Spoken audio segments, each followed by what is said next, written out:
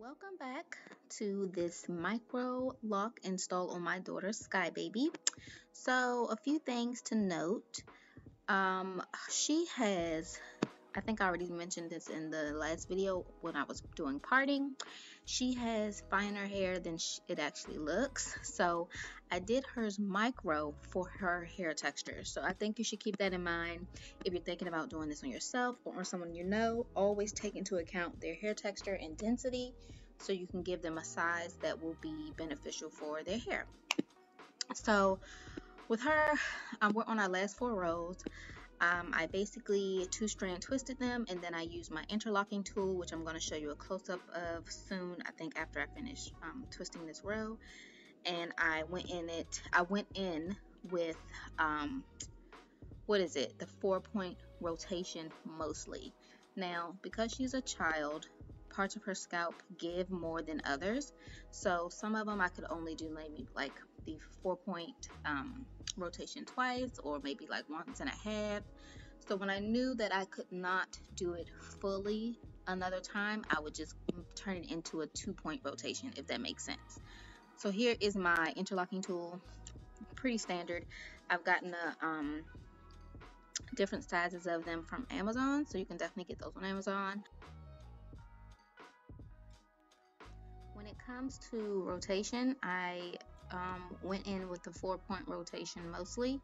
Um, her scalp gives more in different places, so um, I wasn't able to do the four point rotation um, the same amount of times on every uh, twist on her head. So some of them had to be like four point rotation twice all the way through, and then maybe like twice, like once all the way through, and then halfway, and then I would finish up with a two point rotation, which would basically just be me going from the east and then from the north down. So just making it, um, just finishing off the loc, I should say, finish off the interlocking by going to make it the tightest it can be without hurting her. After this style was done, she didn't have any pain. She was able to just flip her hair around, put her hair up, do styles. We practiced styles and things. So nothing was too tight, which is what my goal was. I didn't want her to be in pain. And um, yeah, I think that's that's all I have for y'all. If you have any questions, please drop them below and enjoy the rest of the video.